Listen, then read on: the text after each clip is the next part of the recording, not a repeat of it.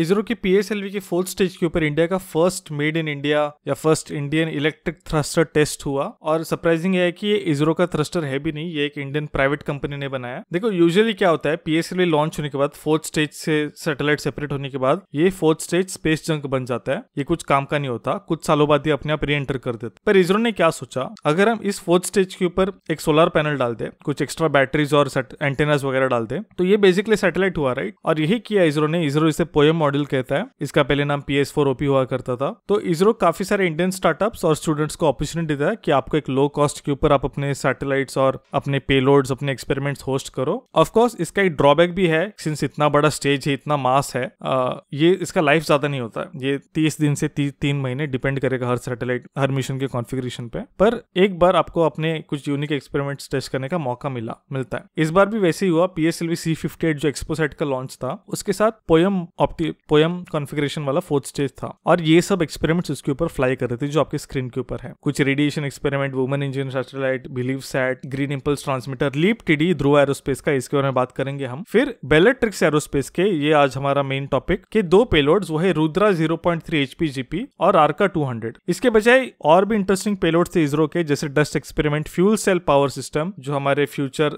Space station के लिए और एक silicon based high energy cell अब हमारा मेन टॉपिक है ये दो। आर्का 200 और रुद्रा 0.3 एचपीजीपी रुद्रा 0.3 एचपीजीपी की बात कर लेते हैं। बेलेट्रिक्स ने काफ़ी अच्छा एक ब्लॉग पोस्ट किया है उनके वेबसाइट के ऊपर। मैं लिंक कर दूँगा डिस्क्रिप्शन में। ये दो मिशन पैचेस थे उनके, काफ़ी कूल है। आप देख सकते हो आर्का 200 जो उनका इलेक्ट्रिक थ्रस्टर है, उसका एक आयन मैन स्टाइल पैच है। रुद्रा जो है, उनका ग्रीन प्रोपल्शन के थ्रस्टर का सीरीज़ है। रुद्रा में अलग अलग है Rudra one Rudra five ETC ये डिनोट करते हैं नंबर्स न्यूटन्स में, जो थ्रस्ट प्रोड्यूस करता है वो। आपकी स्क्रीन के ऊपर जो वीडियो चल रहा है, वो है रुद्रा का वाइब्रेशन टेस्ट ये मुझे रोहन, जो सीईओ है बेलेट्रिक्स की, उन्होंने भेजा। हर हर पेलोड का लॉन्च होने से पहले वाइब्रेशन टेस्ट करना ही पड़ता है, क्योंकि रॉकेट लॉन्चेस हमें बाहर से बहुत स्मूथ दिखते हैं, पर वो एक्चुअली बहुत वायलेंट इवेंट है। तो हर पेलोड का होता है, ये उन्होंने एक भेजा। रुद्रा को टेस्ट करने के लिए उन्होंने फायर किया, ठीक है, रुद्रा ऊपर के इस पे था। रुद्रा को फायर किया गया और फिर उन्होंने नोटिस किया, जैसे ही रुद्रा को फायर किया, पूरा स्टेज टर्न हुआ। और ये टर्निंग जो है, उनकी कैलकुलेशंस के साथ मैच किया और उसके हिसाब से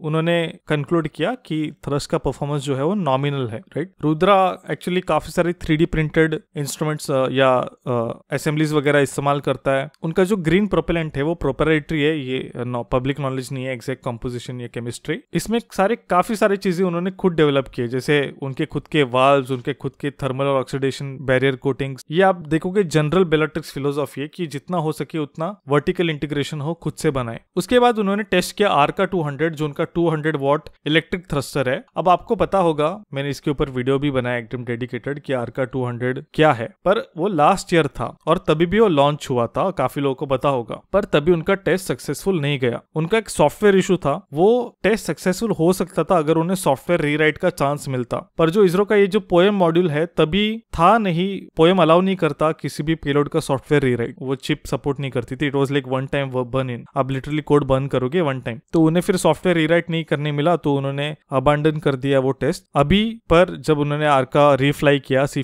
पे तो वो सक्सेसफुल था. उन्होंने सब पैरामीटर्स ऑब्ज़र्व किए डेटा ऑब्ज़र्व किया. इसके तरफ़ कोई कैमरा पॉइंटिंग नहीं था. तो डेटा के से ही पता चलता उन्हें कि ये काम कर रहा है कि नहीं कर रहा है. आरका 200 की स्पेशलिटी है कि ये वर्ल्ड का फ़र्स्ट हीटरलेस हॉलो कैथोड है.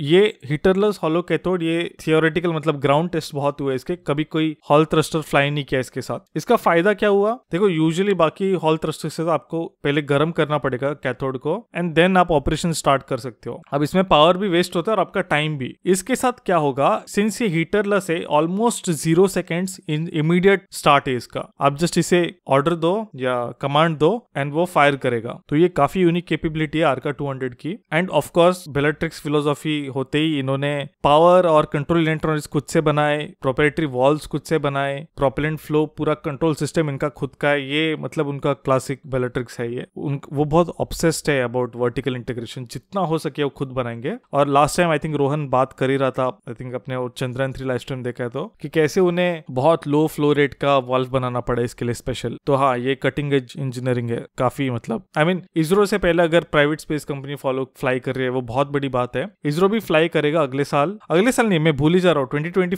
में ही टीडीएस करके एक satellite technology demonstration satellite of course उनका बहुत ज़्यादा हाई पावर पे उनका इलेक्ट्रिक इलेक्ट्रिक थ्रस्टर तो हाँ मैं वेट कर रहा हूँ उनका इलेक्ट्रिक थ्रस्टर का भी। हाँ मैंने आपको कहा था ध्रुवा स्पेस के बारे में बात करेंगे। तो ध्रुवा स्पेस अगर जिन्हें नहीं पता ध्रुवा स्पेस एक कंपनी है जो स्पेस प्लेटफॉर्म्स बनाती है मोस्टली मतलब वो सैटेलाइट्स भी बेचते हैं, वो सोल्यूशन भी बेचते हैं, जैसे अगर आपको आपका सेपरेटर चाहिए चाहिए मतलब जो लॉन्च सेपरेट करता है ना सैटेलाइट सेपरेशन मैकेनिज्म या ग्राउंड सर्विसेज़ एंटेनास वगैरह भी बेचते हैं वो, या सर्विसेज़ प्रोवाइड करते हैं। इनका जो है, इन्होंने फ्लाई किया था इस बार P thirty nano satellite platform तो इनके बहुत सारे प्रोडक्ट्स है। एक था उनका पी डॉट जो पहले फ्लाई कर चुके हो इसरो के ऊपर, जो एक क्यूबसैट है। ये अप टू ट्वेंटी फोर की का है। पर ये पी थर्टी जो है, वो ट्वेंटी से फिफ्टी की सैटेलाइट मास का हो सकता है। ये ज़्यादा बड़ा है उससे। आपके स्क्रीन के ऊपर फ़ोटो होगा। आप देख सकते हो उसके ऊपर दो डाइपोल एंटेनाज है। उनमें से एक है वो ultra high frequency TTC antenna यानी trans telemetry tracking and command और एक है बीकन एंटेना तो ये जो पूरा